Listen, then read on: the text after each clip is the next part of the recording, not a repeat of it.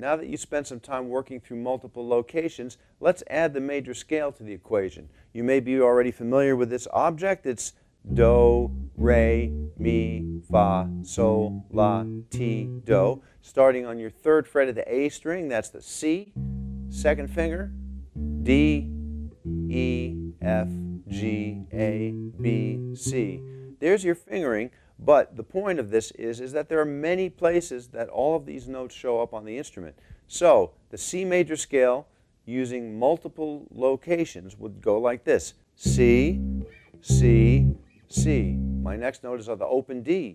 D, D, D, D, D, E, E, E, E, E, E, F, F, F, F, F, F, G, open G.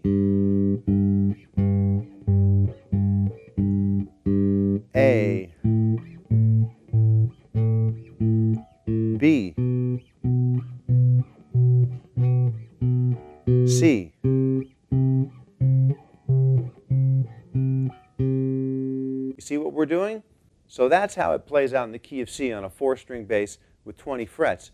You got more strings, you got more frets. Well, guess what? Work this the entire range of your fingerboard. Once you get comfortable with this, start experimenting with other keys and you'll find that some things will be different and other things will stay the same. That same note pattern and the octave shape, these are universal across the entire fingerboard pay attention to this stuff because what we're developing is a sense of awareness, knowing. It's like, this is your neighborhood. Won't you be my neighbor? Sure you will.